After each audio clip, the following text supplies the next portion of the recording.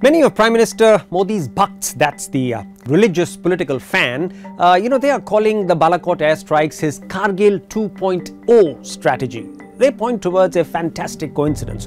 Just as Prime Minister Vajpayee had gained nearly 10 percentage points in his approval ratings after the Kargil war in 1999, Prime Minister Modi has bounced back with a similar accretion after Balakot. And just as uh, Vajpayee had shrugged off losses in Rajasthan, Madhya Pradesh, and Delhi to triumph in the national polls a few months later, they expect Modi to reconquer India in May 2019. It's a, it's a rather simple and unidimensional strategy. Don't distract yourself and the electorate with other issues. Just flog Pakistan and Muslims. Invoke radical Hindutva, fear, terrorism, opposition's so-called weak and cowardly leaders. And then, of course, go on and claim your rightful victory. But I would argue that Vajpayee's victory in 1999 cannot, repeat, cannot be attributed to Kargil. There were in fact uh, four other reasons and these reasons are missing for Prime Minister Modi. Four other reasons why Vajpayee won and Kargil was merely what I would call an, an attractive tip uh, of the iceberg. Number one, there was massive sympathy after uh, his uh, one vote loss. Uh, Vajpayee was barely 13 months into his tenure, and that's not long enough for the incumbency honeymoon to eviscerate, uh, when he was felled in a, in a rather dramatic, almost uh, uh, almost like a Shakespearean tragedy.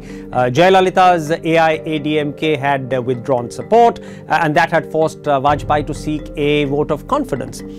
Uh, Mayawati met him in the morning and promised support. Uh, the nation, of course, then heaved a sigh of relief because people wanted a, a, strong leader who had detonated nuclear weapons and he had stood against American sanctions uh, to continue. But Mayawati stabbed Vajpayee in the back by voting against his government, and that created a very tantalizing 269 to 269 draw. Now, that storm uh, may also have passed since the Speaker's casting vote would have saved the government. But, but, destiny had another cruel twist in store for the beleaguered Prime Minister.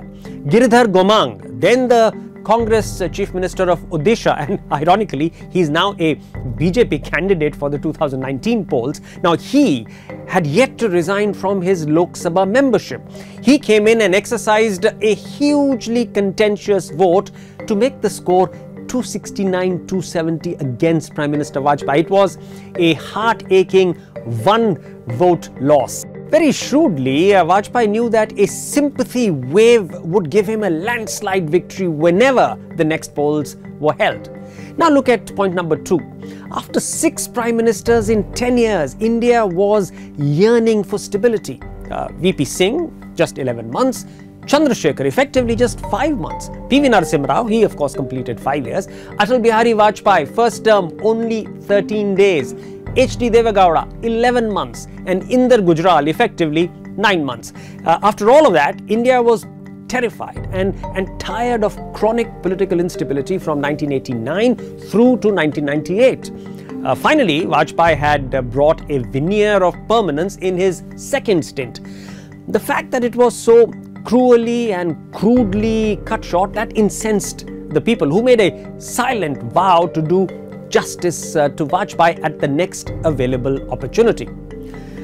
Point number three Vajpayee's uh, big political heart and tent of alliances. Now, unlike Prime Minister Modi, Prime Minister Vajpayee expanded his footprint with uh, allies who were very admiring of him. He had 69 supporting members of parliament from parties which are now Modi's arch enemies.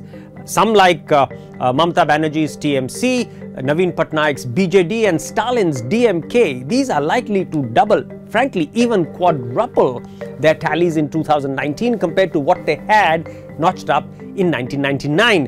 Uh, it, it, would be instructive to have a look at the numbers these parties had notched up in 1999 compared to what their political position now is vis-a-vis uh, Prime Minister Modi. Point number four, and this is uh, the Congress Party's fairly disastrous Pachmarhi policy of Ekla Chalo, which is really go it alone.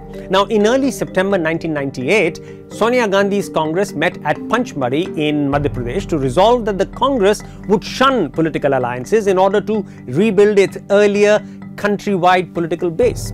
Uh, potential allies like uh, Mulayam Singh Yadav and Lalu Yadav, they just simply cried betrayal. Therefore, unsurprisingly, um, an isolated Congress got, got really got shellacked uh, in the polls. So, as is clear from the above analysis, four critical and substantial factors were responsible for Vajpayee's storied victory in 1999. Kargil got undue and I would call it a misleading credit in popular folklore, which today could be blindsiding uh, Prime Minister Modi into a into a narrow, uh, fragile, a one-point narrative. Uh, therefore, uh, uh, Prime Minister uh, Modi's tally could actually fall quite short of what he had won uh, in 2014.